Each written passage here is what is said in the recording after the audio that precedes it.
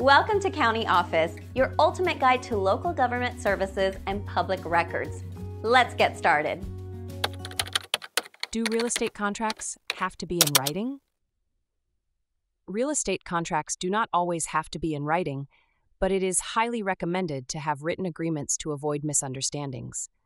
Verbal contracts can be legally binding but are harder to enforce due to the lack of tangible evidence.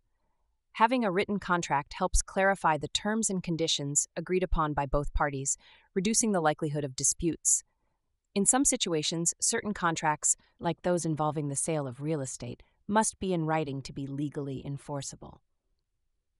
Each state may have specific requirements regarding the form of real estate contracts, so it is essential to check the local laws to ensure compliance.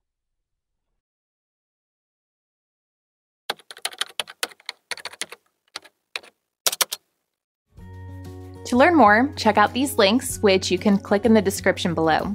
And feel free to comment your questions. We're here to help. Thanks for tuning into our video. Please like and subscribe and leave a comment below. See you in the next video.